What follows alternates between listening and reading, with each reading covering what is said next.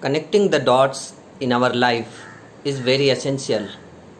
If we connect the dots, the picture would be clear. The connecting of dots is possible when we look back the things. We cannot connect the dots by looking forward. We have to always look backwards to connect those dots to understand the things. For example, a person decided to plant 100 trees. So he divided three teams Team A, Team B, and Team C. Team A job was to just dig the hole. First day, they, their job is to dig, dig the holes. Second day, he allocated second team to fill the uh, holes. All the holes need to be filled. There was another third team that in between they need to plant a seed in that hole. So normally uh, team a and b used to uh, meet each other and they used to talk that what we are doing here. We we are just digging the hole and you guys are just filling. So what is the purpose?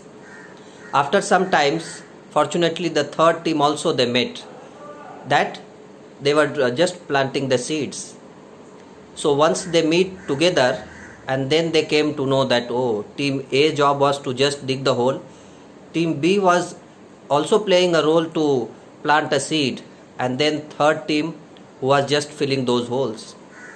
When they came together they came to know that the whole purpose of digging planting the seed and filling the uh, dot uh, filling the holes.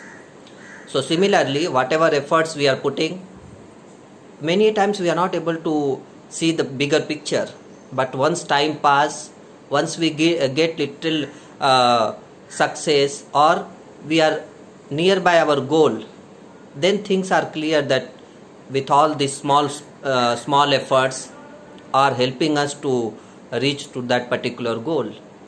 Then only picture would be clear that whatever we did and what we got the result.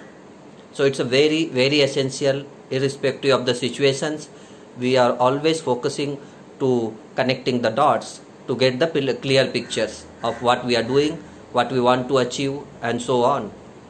So this is what my thought on this topic friends. Thank you so much for watching